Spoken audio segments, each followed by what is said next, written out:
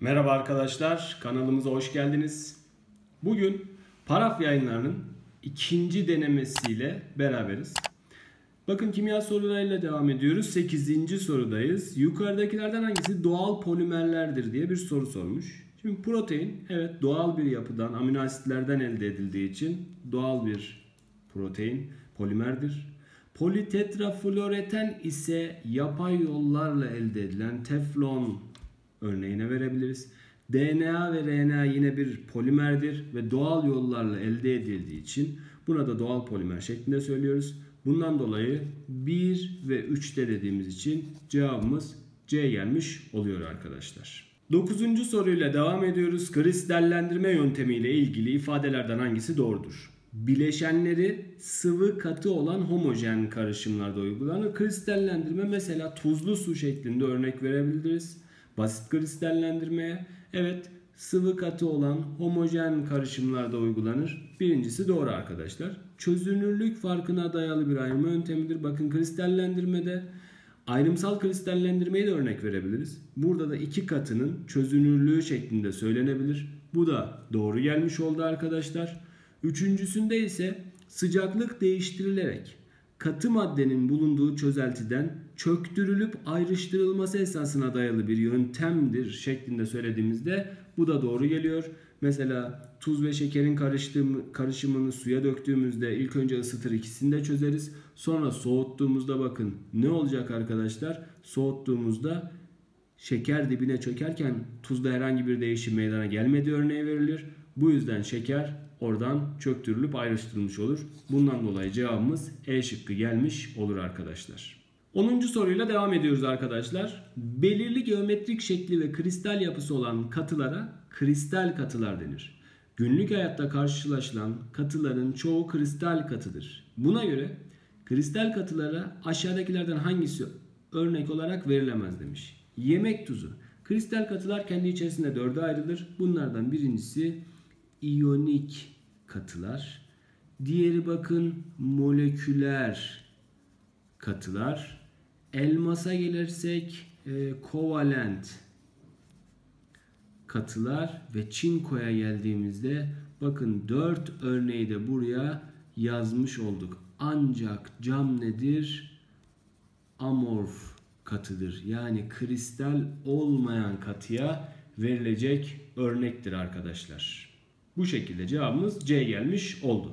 11. soruya baktığımızda kimya öğretmeni Semih'e proje ödevi olarak aşağıdaki çalışmayı vermiştir. Pistonlu kaplarda da gazların davranışları ve enerji iş dönüşümleri bakın enerji iş dönüşümü diye bir kelime geçti burada. Yani neden bahsedecek bize? Buna göre Semih'in proje ödevi aşağıdaki kimya alt disiplinlerden hangisiyle ilişkilendirilir dediği anda bakın enerji ve iş kimya varsa arkadaşlar fiziko kimya işin içerisine girmesi gerekiyor. O yüzden cevabımız A şıkkı gelmiş oldu arkadaşlar. 12. sorudayız. Aşağıdaki tepkimelerden hangisi yanlıştır demiş. Bakın A şıkkında HF ile kalsiyum tepkimeye girmiş. Yani bir asitle metalin tepkimeye girmesinden evet kalsiyum florü ve H2 çıkar. Aktif metaller asitlerle tepkimeye girdiğinde hidrojen gazı çıkartırlar. B şıkkına geldiğimizde H2SO4 ile bir Cu yani bir yarı soy metal girmiş. Arkadaşlar yarı soy metaller tepkimeye girdiğinde kimle girer? Oksijenli asitle girer. Peki ne çıkar? Açığa çıkanları şuraya tek tek yazalım. Tamam birincisi CuSO4 dediğimiz doğru. CuSO4 buna bir itirazımız yok. Ama onun yanında ne çıkacak? SO2 gazı ve H2O çıkması gerekecektir. O yüzden bakın burada çıkanlar yanlış. Diğerine bakıyoruz. Magnezyum yani aktif bir metal asitle tepkimeye girdiğinde tuz ve hidrojen gazı oluşur. Yine bir aktif metal H2SO4 ile tepkimeye girdiğinde tuz ve H2 gazı oluşur. Yine bir aktif metal asitle tepkimeye girdiğinde tuz ve hidrojen gazı oluşur. Doğru. O yüzden cevabımız B şıkkı gelmiş oldu arkadaşlar. 13. soruyla devam ediyoruz.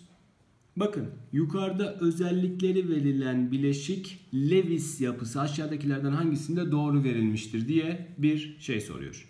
Ametal atomların polar kovalent bağ oluşturması ile meydana gelmiştir. Ametal atomlarının polar kovalent bağdan bahsediyor. Evet buradaki bütün hepsi ametaldir ve polar kovalent bağ oluşturmuştur. Apolar molekülleri olan bir bileşiktir. Apolar molekül bakın bu bir polar moleküldür. Bu silindi. Bağlayıcı elektron çifti sayısı 4. Bakın 3 tane çifti var gitti. 4 çift var, 4 çift var, 4 çift var. Hepsi duruyor. Ortaklanmamış elektron çifti sayısı 12'dir. Bakın ortaklanmamış hiç elektron yok. Gitti. Ortaklanmamış elektron 2, 4, 6, 8 yani 4 çift olduğu için gitti. Bakın 1, 2, 3, 4, 5, 6, 7, 8, 9, 10, 11, 12 tane çift yani 24 tane elektronu vardır. O yüzden cevabımız D şıkkı gelmiştir arkadaşlar. 14. soruya baktığımızda elektron sayısına proton sayısı şeklinde bir grafik vermiş. X, Y, Z şeklinde de 3 tane farklı elementten, atomdan bize bahsediyor. Yukarıdaki grafikte X, Y, Z taneciklerine ait proton ve elektron sayıları verilmiştir. X elementinin bir soy gaz olduğuna göre aşağıdakilerden hangisi kesinlikle yanlıştır diye bir şey soruyor. Bakın birincisinde diyor ki X ve Y izoelektroniktir. O zaman bakıyoruz X ve Y nedir arkadaşlar? Proton sayıları farklı ancak elektron sayıları aynı. O zaman bunlar izoelektronik olma şansları vardır. Geldik B şıkkına. Z taneci B grubu metallerine ait bir katyon olabilir. Şimdi Z dediğimiz nedir? A artı 3 vermiş. Bize ne diyordu? X elementi bir soy gaz. Mesela şöyle diyelim 18 olsun. A'ya 18 dersen B kaç gelir arkadaşlar? 21 gelebilir. Evet bakın buradaki B grubu metallerinden bir katyon olabilme ihtimali vardır. Doğru. Y 1A grubu elementlerine ait bir katyondur. Y'ye bakıyoruz 18 dediğimizde mesela 19 geliyor. 19 olduğu için nedir arkadaşlar? Bir tane elektron da vermiş yani artı bir değerlik almış aldı. O yüzden doğru. Hatta şunu da belirtelim. Bakın burada bu artı bir. Bu da burada. Yine artı 3'ten bir elektron verdiği için artı 2'ye düştüğü için yine artı 1'dir. O yüzden katyon kısımlarının da hani doğruluğunu belirtmemiz gerekiyor. Y taneci ok dediğini tamamlamıştır. Y dedi 19 bir tane verdi 18'e düştü. 18'e düştüğüne göre 2 8 8 şeklinde ok dediğini tamamladı. Bu da doğru.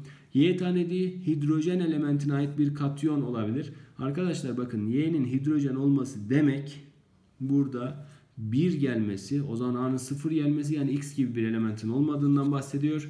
O yüzden cevabımız E şıkkı gelmiş oldu. E, paraf yayınlarının ikinci denemesinde de oldukça güzel bir TYT sınavı çıkartmışlar arkadaşlar. Kimya adını ortaya. İlki de çok güzeldi. ikincisi de oldukça güzel gitmiş.